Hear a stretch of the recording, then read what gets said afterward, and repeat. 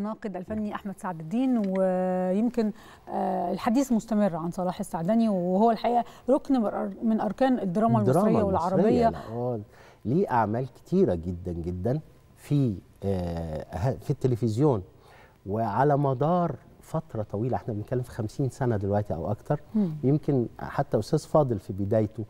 اشتغل معاه في القاهرة والناس. مم. ودي كانت في الستينات كانت مسلسل كبير جدا. مم. وهكذا. ما فيش عمل دخله صلاح السعدني إلا ما يكون هو صاحب رسالة.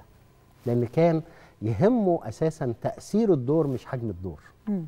وده مش بسهولة هتلاقيه في ناس كتير. لا ده منتهى التصالح مع النفس. طبعا طبعا. صلاح السعدني يعني نقدر نقول إن هو يرحل بالجسد.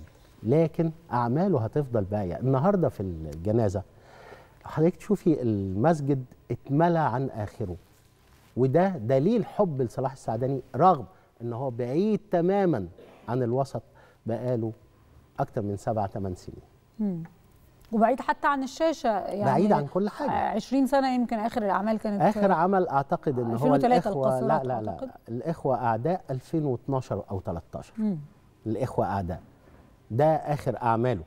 لكن هو الفترة الطويلة اللي فاتت يمكن هو مش موجود على الشاشة ولكن سيرة صلاح السعدني باقية. باقية وجميلة. صحيح. النهارده لو تشوفي كل نجوم مصر موجودة النهارده.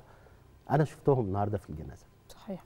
وزي ما كان أستاذ فتوح أحمد بيقول الكل بيعزي الكل. هي مسيرة. حب صحيح. مش عزاء هي مسيرة حب. لأن كل الناس جاية عشان صلاح السعدني صح أحد رموز مصر ال- طبعا. الحلوة الجميلة الحلوة اللي إحنا دايما. هنفضل في سيرتهم. اللي عمرنا ما سمعنا إن هو اتخانق مع حد. صحيح.